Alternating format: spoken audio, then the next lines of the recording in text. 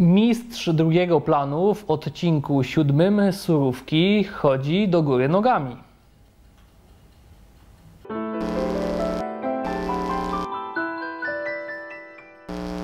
z miasta Kiwerce na Ukrainie, e, z, ze wsi Zwedeniwka i z miasta Swatowo. E, Ogólnie rzecz biorąc, wymiana polega na integracji uczestników z Polski i z Ukrainy, ponieważ dokładnie taka sama ilość jest dzieci i młodzieży z Polski.